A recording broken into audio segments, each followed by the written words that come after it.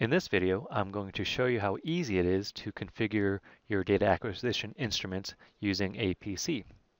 So what you see in front of you right now is Keysight's BenchVue program, and it's a great little program that's free for download and use, and it actually supports a lot of different instruments, but the uh, application that we'll be using today is the data acquisition uh, application.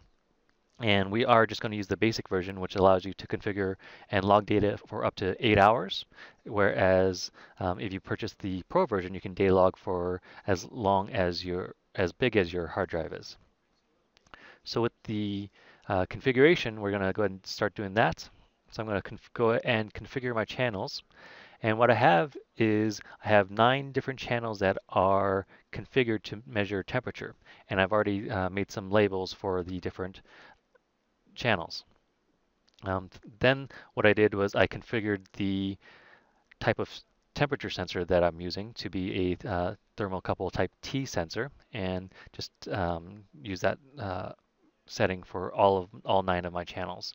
You can also configure uh, different types of ranges or um, units on your measurement if you would like to, or if you wanted to scale or adjust the readings to make them absolute zero or absolute te uh, temperature, you can use the scaling mechanism here to adjust the readings to um, your expected value. So um, that's all I'm going to configure for my channels for now. The other thing I want to configure is my data logging settings. So um, first thing to look at is what do I do for starting? So I'm just going to start with the immediate button or immediately start with the start button up here. Um, I'm going to actually change the scan interval, interval to maybe measure once every 30 seconds. And I'll do that right there. And then I want to stop data logging after one hour. So I've already got that configured right here as well. So what it's going to do is after I press the start button, it's going to scan through all of these channels, all nine channels, make a measurement on each channel once every 30 seconds. And after an hour, it's going to stop making those measurements. And then uh, we can start uh, seeing those uh, results after um, on this uh, graphic setup. So let's go ahead and press start and let it uh, run through and make some measurements. And we'll take a look at this in the second part of our video. So it's been an hour now, and now I've got all my data. So what I want to do is I actually want to visualize that data within my graphics setup.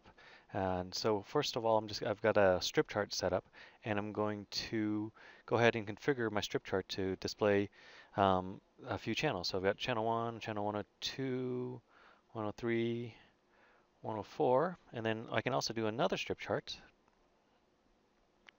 I add that, and then I can uh, select that second strip chart to display um, channel 105 through 109.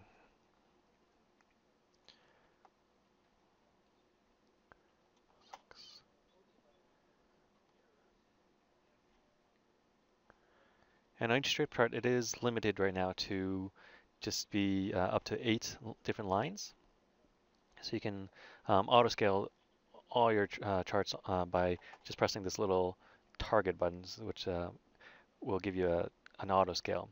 So as you can see, the graphs are warming up over time, and it looks like for the most points it actually takes about an hour, but to adequately temperature characterize your unit, you actually should be testing under load conditions. You should be testing under different environments and ambient environments. So I just tested in uh, my uh, room environment, which is normally about 25 degrees C.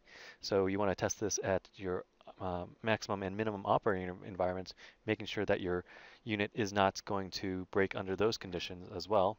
So uh, within BenchVue now I can see my different uh, values, uh, making sure that there's nothing funny going on with those uh, values.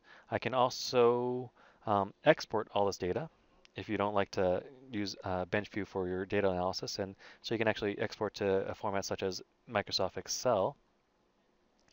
And Excel's um, BenchVue will export that and allow you to um, open that up right away. So let's go ahead export that.